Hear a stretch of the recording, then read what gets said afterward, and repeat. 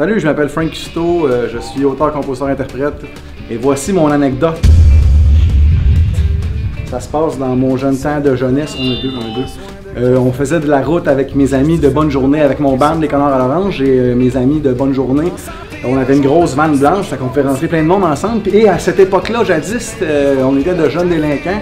Il nous arrivait de siffler quelques bièrettes euh, sur la route, pas la personne qui conduit, mais les autres, malheureusement, ça leur arrivait.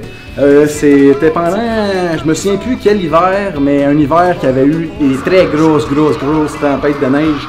Puis euh, c'était juste comme impossible d'arrêter sur le bord de la route pour euh, aller rapporter notre bière là, dehors. Donc euh, on, décide de- d'être courageux. Puis maintenant, le courage, ça, physiquement, ça, ça, marche plus. On avait une glacière euh, avec un lunch dedans. On a enlevé le lunch de la glacière et tour à tour, dans le banc où il y avait personne en arrière, on allait déverser, si vous voulez, notre bière. Là. On, faisait nos petits pupilles dans la glacière. Puis euh, c'était vraiment, il y avait beaucoup de neige. On est arrivé quand même en retard. Puis en arrivant euh, à l'endroit, je pense que c'est à Trois-Rivières, on avait une belle grosse glacière remplie de, de pupilles, de musiciens, de commandes et de bonnes journées qu'on a laissé dehors, puis le lendemain, en revenant du show, il y avait la puis dans la glacière, il y avait un gros pop pipi, un gros popsicle.